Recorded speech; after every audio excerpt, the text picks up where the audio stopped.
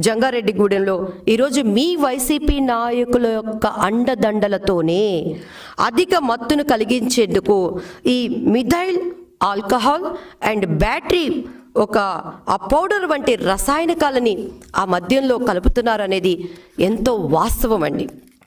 జంగారెడ్డి ఆ గూడెంలో డాంగి అనేటువంటి ఒక నగరంలో ముగ్గురు వ్యక్తులు ఈ సారా విక్రయాలు కొనసాగిస్తున్నారని ఆ సారా తాగటం వల్లనే వారు ప్రాణాలు కోల్పోయారని ఆ కుటుంబీకులు ఒక టూ డేస్ బ్యాక్ వాళ్ళు ప్రెస్ మీట్లలో చెప్తే వెంటనే మీ మంత్రులంతా ఈ రౌడీలు ఈ దందాలు మొత్తం అలర్ట్ అయిపోయి ఆళ్ళనాని గారు వాళ్ళకి ఫోనులు చేసి వాళ్ళ కుటుంబీకులను బెదిరించి మీకు మరలా మేము జాబులు ఇస్తామని మభ్య పెట్టించి మరలా మీరు వాళ్ళ నోటితోనే ఈ దీనికి ప్రభుత్వానికి ఏమి సంబంధం లేదని చెప్తున్నారు. ఏమండి? పిల్లి అనుకుంటుందంట కళ్ళు మూసుకొని పాలు తాగుతూ నన్ను ఎవరు చూడట్లేదు అని అనుకుంటుందట.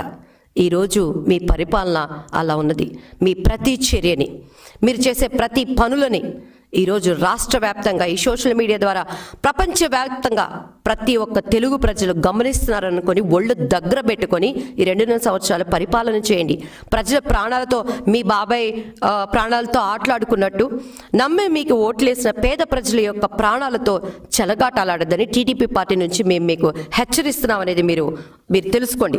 ఒక్క లీటర్ రక్తంలో జస్ట్ ఫైవ్ హండ్రెడ్ ఎంఎల్ మరి ఎంజీ కంటే ఎక్కువగా ఈ మిథై ఆల్కహాల్ ఉందంటే అది ప్రాణానికి ఎంత ముప్పు అనేది ఈరోజు మీరు అర్థం కాని పరిస్థితుల్లో ప్రజల ప్రాణాలతో ఆడుకోవటం అది మీ భవిష్యత్తుకి మంచిది కాదనేది కూడా మేము మీకు తెలియజేస్తున్నామండి.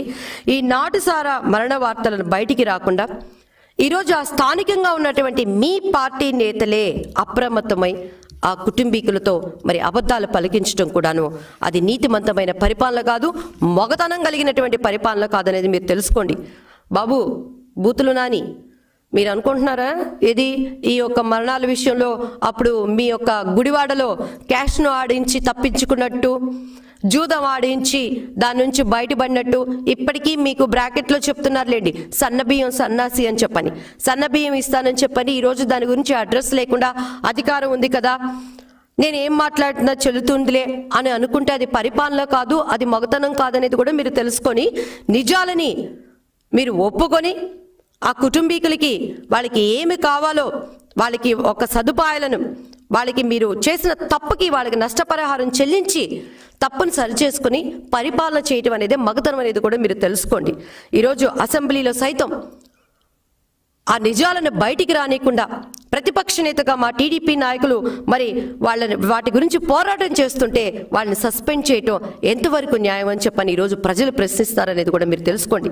మరి ఒకవైపు ఆ బాధితుల్ని పరామర్శించటానికి చంద్రబాబు నాయుడు గారు ఆ ఏరియాకి వెళ్తుంటే అక్కడ ఎటువంటి అడ్డంకులు తీసుకొచ్చి ఆ యొక్క బాధితుల కుటుంబాలకి ఒక నీతి నిజాతి కలిగిన నాయకుడికి కనెక్షన్ తెంచేయటానికి మీరు ఎటువంటి ప్రయాస పడుతున్నారు అనేది కూడా ప్రజలు గమనిస్తారనేది మీరు తెలుసుకోండి. ఒక పక్కన అధికారం కోసం సొంత బాబాయి ప్రాణాలే తీసినటువంటి మీరు ఈరోజు అక్రమ మీ యొక్క ఆదాయం కోసం ఈరోజు ప్రజల ప్రాణాలతో చెలగాట చెలగాటమాటం మీ మనసుకు అది న్యాయం అనిపిస్తుందా అని చెప్పని ఈరోజు మేము ప్రశ్నిస్తున్నామండి. అసలు భారతదేశంలో ఎక్కడైనా సరే ఏ మంత్రి చూసుకున్నా కూడాను తన రాష్ట్రాన్ని అభివృద్ధి కోసం మంచి మంచి కంపెనీలను తీసుకొస్తారు. మంచి మంచి ఇన్వెస్ట్మెంట్స్ని ఇక్కడ తీసుకొస్తారు. ఈ రెండున్నర సంవత్సరాల్లో మూడో సంవత్సరం రాబోతుంది ఇటువంటి ఎక్కడా ఒక ఆనవాళ్ళు లేకపోగా ఈరోజు జగన్ రెడ్డి గారు సంపాదన కోసం మద్యం మీద దృష్టి పెట్టడం అనేది ఈరోజు రాష్ట్రంలో ప్రతి ఒక్కరూ సిగ్గుపడవలసినటువంటి విషయం అనేది మీరు తెలుసుకోండి.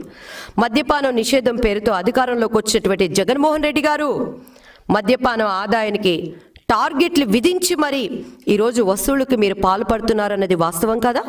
రెండోదిగా మద్యం పెరిగితేనే సంక్షేమం అంటూ ఒక జీవోను కూడా తీసుకొచ్చారు. ఇప్పుడు ఆలోచించుకోండి నానిగారు ఎవరు మొహాన ఎవరు ఉయ్యాలి అనేది కూడా ఈరోజు మీరు దీనికి సమాధానం చెప్పగలిగిన స్థితిలో ఉన్నారండి.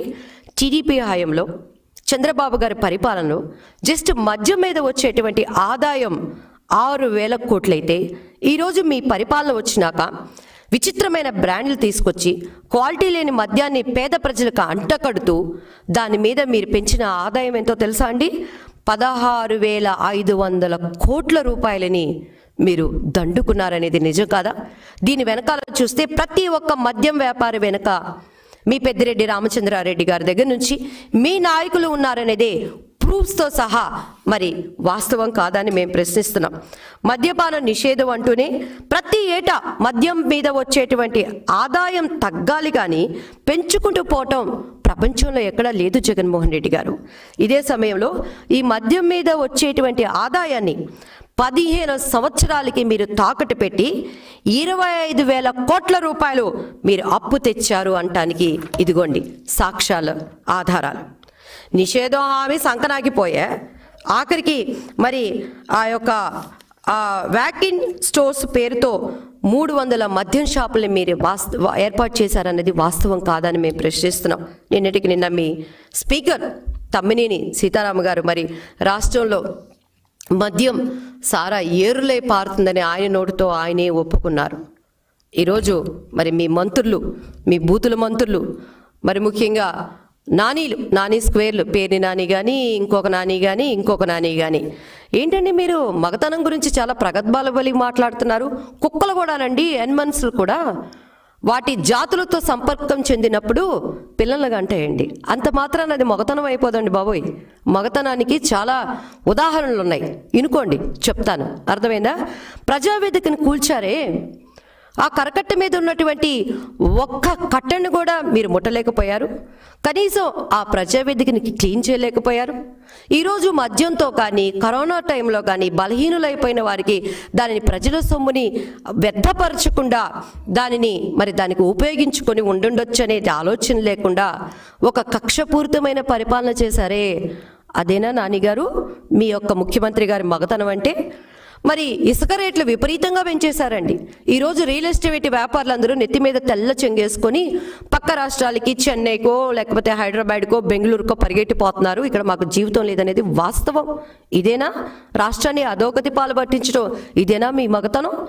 మరి ఈరోజు ఇటు ప్రతిపక్ష నేతలు కానీ అలానే మీ పార్టీలో ఉన్న వాళ్ళు కానీ న్యాయాన్ని ప్రశ్నిస్తే ఎందుకు పనికిరాని చెత్త మొహాలని ఆల్మోస్ట్ ఒక ప్రాస్టిట్యూట్స్కి ఈక్వల్గా ఉన్నటువంటి లేడీస్ని తీసుకొచ్చి ఈరోజు ప్రశ్నిస్తున్న వాళ్ళ మీద క్యారెక్టర్ అసోసియేషన్ చేయించి మీరు మాట్లాడిస్తున్నారే ఇదేనా పరిపాలన? ఇదేనా మొగతనం అంటే మీ దృష్టిలో? ఏమండోయ్ బొచ్చులో నాని గారు బూతుల నాని గారు మిమ్మల్ని డైరెక్ట్గా అడుగుతున్నాం. సమాధానం చెప్పడానికి మీ ఇంటి పేరు ఏదో అదేదో చెప్తారు కదండి దమ్ము ధైర్యం మీ ఇంటి పేరు అన్నట్టుగా దమ్ము ఉంటే ధైర్యం ఉంటే మాట తప్పుడు మడం తిప్పుడు అని అంటున్నారుగా? మేము అడిగే వాటికి మీరు సమాధానం చెప్పండి. ఇదేనా మగతనం అంటే మగతనం కలిగిన పరిపాలన అంటే ఇదేనా అని ఈరోజు మేము ప్రశ్నిస్తున్నాం. ఈరోజు మరి మీ ఇంటి ఆడబిడ్డ సునీత గారికి న్యాయం జరగక వివేకానంద రెడ్డి గారి మర్డర్ కేసులో తను ఎంతమంది మరి సిబిఐ యొక్క ఆ యొక్క అధికారులని ఆమె ఆశ్రయించిందో అన్నా అని నీ దగ్గరకు రాలేకపోయిందే. ఇదేనా మీ మగధనం కలిగిన పరిపాలన అంటే? ఈరోజు మేము అడగట్లేదండి. ప్రజలు అడిగే ప్రశ్నల్ని మీ సన్నిధానంలోకి మేము తీసుకొస్తున్నాం. బాబు మగధనం కలిగిన మంత్రులు గారు వీటికి సమాధానం చెప్పడానికి మీ దగ్గర. సత్తా ఉందా? సత్తా ఉంటే రండి. టైం చెప్పండి ప్లేస్ చెప్పండి. మా టీం మొత్తం వచ్చి కూర్చుంటారు. ప్రజలకి మీరు ఏం సమాధానం చెప్తారని చెప్పని ఈరోజు మేము ప్రశ్నిస్తున్నాం. అయినా పేర్ని నాని గారు మీరు భలే రాసుకొచ్చుకుంటారండి డైలాగులు. మీ బతుకులంతా కాపీ కొట్టడమేనండి చక్కగా కనకదుర్గమ్మ ఫ్లైఓవర్ మా బాబు గారు కడితే సొమ్ము ఒకటిది సోకొకటిదని దాని రిబ్బన్ కటింగ్లు మీరు చేయించుకున్నారు.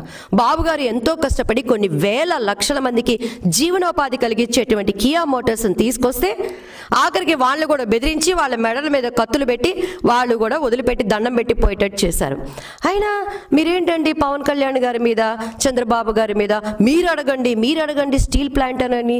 లేకపోతే జగన్ మన పవన్ కళ్యాణ్ గారు బీజేపీతో కలిసి ఉన్నారు కదా మీకు అడగటానికి శక్తి లేదా అంటారు? అంటే మీలో ఆ, మగతనం అంటే అదే ఆ గట్స్ లేవా అని మేము ప్రశ్నిస్తున్నాం. ప్రజలు నూట యాభై ఒక్క సీట్లు ఇచ్చింది మీకండి. ఆ రోజు ప్రగద్భాలు పలుకుతూ ఇరవై మూడు మంత్రులు మాకు వంచి ఇస్తే కేంద్రంలో అందరి మెడలు వంచి ప్రత్యేక హోదా తీసుకొస్తానని చెప్పింది మీరండి. అధికారం మీ చేతిలో ఉందండి. అడగవలసిన బాధ్యత మీది. ఎస్ చంద్రబాబు నాయుడు గారు నిజముగా ఒక సంస్కారవంతమైన మగతనం కలిగిన నాయకుడు అంటానికి అనేక ప్రూఫ్స్ మా దగ్గర ఉన్నాయి. ఏమండి ఈరోజు హైదరాబాద్ డెవలప్ అయిందంటే అన్ని రకాల కేటగిరీ ఉన్నటువంటి నాయకులు ఈరోజు చంద్రబాబు గారి విజన్ని అనుభవిస్తున్నారు అనేది వాస్తవం. ఆ రోజు అధికారంలో ఉన్నప్పుడు ఆయన మోడీ గారితో ఆయన ఒక దీక్ష పూని మాకు రాష్ట్రానికి కావలసినవి తీసుకురావాలి అని చెప్పని ఆయన పోరాడిన మాట వాస్తవం. ఈరోజు ఎందుకు మీరు పోరాడలేకపోతున్నారు? ఇదేనా మీ మొగతనం కలిగిన పరిపాలన అని ఈరోజు రాష్ట్ర ప్రజలు మీ మొహాల మీద ఉమ్మటానికి సిద్ధంగా ఉన్నారు ఎలక్షన్ టైంలో. గుర్తుపెట్టుకోండి. ఈరోజు నారా చంద్రబాబు నాయుడు గారు. నారా భువనేశ్వర్ గారి మీద క్యారెక్టర్ అసాసియేషన్ చేసి మీ మంత్రులందరూ వ్యంగ్యంగా మాట్లాడిన ఆ యొక్క దుఃఖాన్ని ఆయన దిగమిందుకొని ఇప్పటికీ రాష్ట్రం అభివృద్ధి కొరకు భారతదేశం గర్వించదగినటువంటి ఒక సింహం. రాజకీయ అపర చాణక్యుడు నారా చంద్రబాబు నాయుడు గారని ఇరు రాష్ట్రాలు అందరూ కూడాను ఈరోజు ఆయన విలువ తెలిసి ఎప్పుడెప్పుడా మాకు ఎలక్షన్ రా బాబు అని అంటుంటారు. ఆ భయం కూడా మీకు తెలియబట్టే రెండు రోజుల క్రితం మీరు ప్రెస్ మీట్లు పెట్టి ఏం చెప్తున్నారండి? మీ నాయకులు మీరు గెలవండి నన్ను గెలిపించండి. కొంచెమన్నా సిగ్గుందండి మీకు ఆ మాట మాట్లాడటానికి?